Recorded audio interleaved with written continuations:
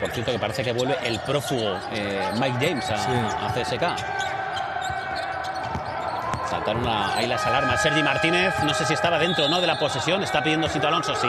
Se acabó la posesión. Tiempo lanzamiento de Sergi Martínez. Muy bien, Sergi Machín levantó la línea de fondo, pero llegó Lima y cerró esa puerta. Lima que suele cerrar, Oscar, muchas